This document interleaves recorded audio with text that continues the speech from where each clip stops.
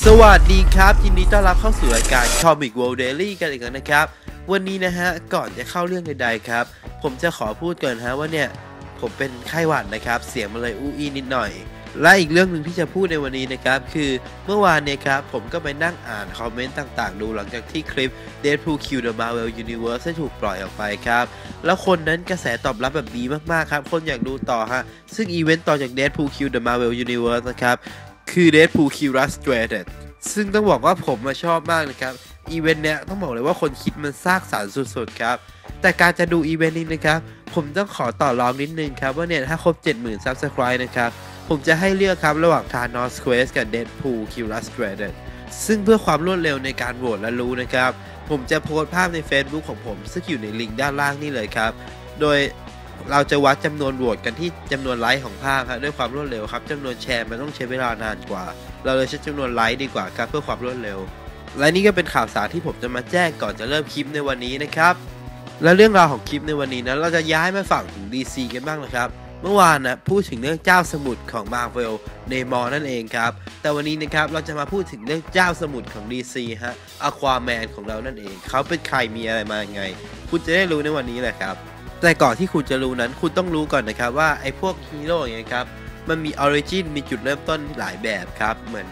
มันถูกสร้างมานานครับไทม์ไลน์มันจะนานฮะเหมือนมันมีจุดเริ่มต้นผมมาหลาย ๆ แบบครับ โดยผมจะเลือกนะครับ จุดเริ่มต้นที่ดูว่าน่าเชื่อถือที่สุดฮะดูว่ามันมีเหตุผลมัน make sense ที่สุด แล้วมาเล่าให้ท่านผู้ชมฟังนั่นเองครับ ซึ่งผิดพลาดประการใดผมก็ขออภัยไว้ด้วยนะที่นี้เลย มาเริ่มกันเลยดีกว่าสำหรับประวัติของ Aquaman เจ้าสมุทรแห่งจักรวาล DC ของเรานั่นเอง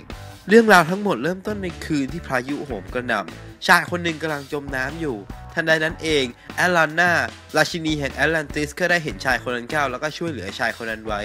จากนั้นทั้งสองคนก็ได้ตกหลุมรักกัน และใช้ชีวิตอยู่ร่วมกันมาสักพักหนึ่ง หลังจากนั้นไม่นานทั้งสองคนก็ได้ให้กำเนิดบุตรชายอันแสนน่ารักบริสุทธิ์ที่ชื่อว่าอาร์เธอร์เคอรีนั่นเองแต่ต่อมานะครับ เธอก็ต้องกลับไปที่แอตแลนติสเพื่อดูแลประชาชนของเธอ โดยที่ไม่ได้บอกกล่าวอะไรกับทอมเลย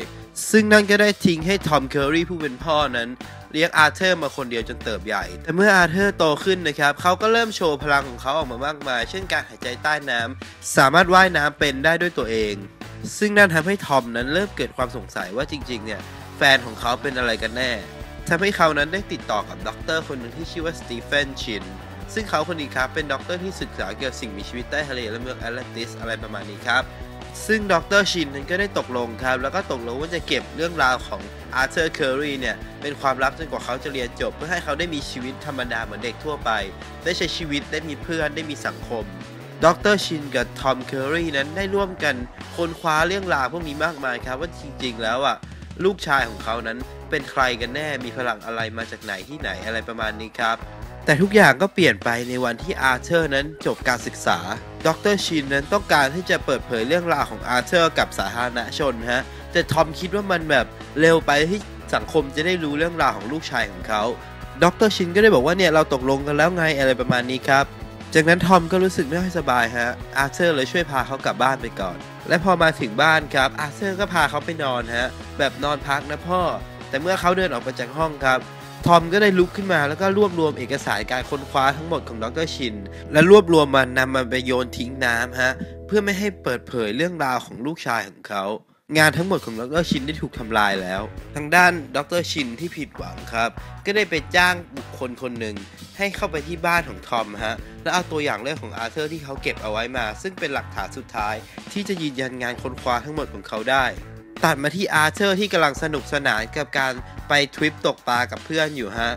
ซึ่งเพื่อนสนิทของเขาก็รู้ครับว่าเนี่ยอาร์เธอร์นั้นไม่เหมือนคนปกติครับ เขาไม่เหมือนคนทั่วไปฮะ แต่ในตอนนั้นเองครับอยู่ๆก็มีเครื่องบินลำหนึ่งฮะตกลงมาในทะเลครับ และดูเหมือนว่าไม่มีซูเปอร์ฮีโร่คนไหนจะมาช่วยเขาได้เลย อาร์เธอร์เลยตัดสินใจใช้พลังของเขาไปช่วยเครื่องบินลำนี้ครับ แต่คนที่เห็นเหตุการณ์นะครับ ไม่ได้มีแค่เพื่อนของเขาฮะ คนอื่นๆก็เป็นพยานสายตาไปด้วย จากนั้นอาเธอร์ก็รีบกลับมาที่บ้านครับ แต่เขากำลังพบว่ามีชายปริศนาคนหนึ่งกำลังต่อสู้กับพ่อของเขาอยู่ แต่ทันใดนั้นเองครับเขาก็ใช้พลังพิเศษของเขาจัดการชายคนนั้นอย่างง่ายดายฮะ และพบว่าพ่อของเขานั้นกำลังป่วยอยู่ เขาจึงรีบพาพ่อไปส่งโรงพยาบาลครับสามวันต่อจากนั้นฮะพ่อเขาก็ได้เสียชีวิตลงจากอาการหัวใจวาย แต่ก่อนที่พ่อของเขาจะเสียชีวิตนั้น พ่อของเขาก็ได้สั่งเสียว่าเนี่ยตามหาแม่ของนายนะ ตามหาแม่ของนายเล่าเรื่องของพ่อให้แม่ฟังด้วย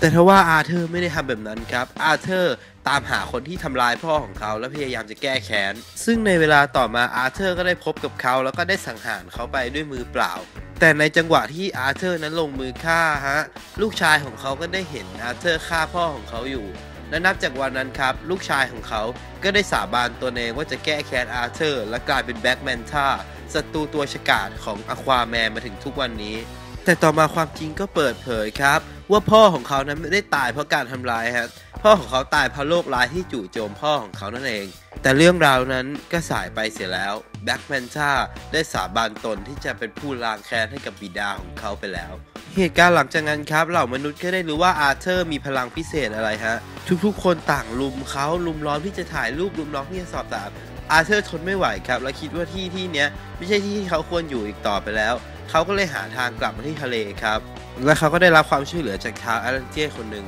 ต่อมาเมื่อเขากลับมาครับเขาก็ได้รู้ครับว่าเขาไม่ใช่แค่ชาวแอตแลนเตียฮะเขาเป็นถึงทายาทของราชินีแห่งแอตแลนติส แต่เขายังไม่พร้อมที่จะรับตำแหน่งราชาฮะแต่เขายังมีพี่น้องก็คือ Ocean Master อีกด้วย และมีภรรยาสุดสวยที่ชื่อว่าเมราครับผม ในขณะที่เขาออกผจญภัยในเส้นทางของตัวเอง เขาก็ได้เข้าร่วมกับทีม Justice League และมีผลงานกับ Justice League มากมายครับ ซึ่งเรามีข่าวที่น่าสนใจมาบอกอีกเรื่องนะครับ อีเวนต์เกี่ยวกับ DC ที่เราจะทำต่อไปนี้ เป็นอีเวนต์ที่เกี่ยวพันตรงกับเขาโดยเฉพาะเลยฮะ นั่นคืออีเวนต์ Throne of Atlantis บัลลังก์แห่งแอตแลนติสนั่นเอง ซึ่งโอ้โห ต้องบอกว่าอีเวนต์เนี่ยครับ สนุกมากๆนะครับ และให้ผู้ชมน่ะจะได้ดูในเร็ววันแน่นอนครับ ผมรับประกันจะรีบทำออกมาให้มันเร็วที่สุดเลยครับ และวันนี้นะครับก็สมควรแก่เวลาแล้วครับ นี่เป็นข้อมูลคร่าวๆทั้งหมดของ Aquaman ที่เรามาพูดกันในวันนี้ครับ วันนี้ผมต้องขอลาไปก่อนฮะอย่าลืมกด Subscribe ให้รายการเราด้วย แล้วก็อยากได้ตัวไหนก็สามารถคอมเมนต์บอกกันได้นะครับวันนี้ผมต้องขอลาไปก่อน สวัสดีครับ